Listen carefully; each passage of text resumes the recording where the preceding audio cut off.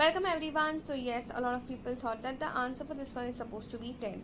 See, the question is 7% of what is 70? When you have something like this, you need to represent this into a mathematical form. 7% of means multiplication. What let it be x is is equal to and 70. Okay, now when you have a percent sign, you have to convert it in its a number form which is nothing but what 7 upon 100 this will be 7 upon 100 multiplied by x is equals to 70 in order to find the value of x we will multiply both sides by 100 means we need to shift all the numbers on the other side and divide both sides by 7 so this and this gets cancelled this and this gets cancelled this is 7 ones are and 10s are. So we are left with x equals to 10 multiplied by 100. So answer for this question is supposed to be just 1000. I hope this is very very clear to everyone.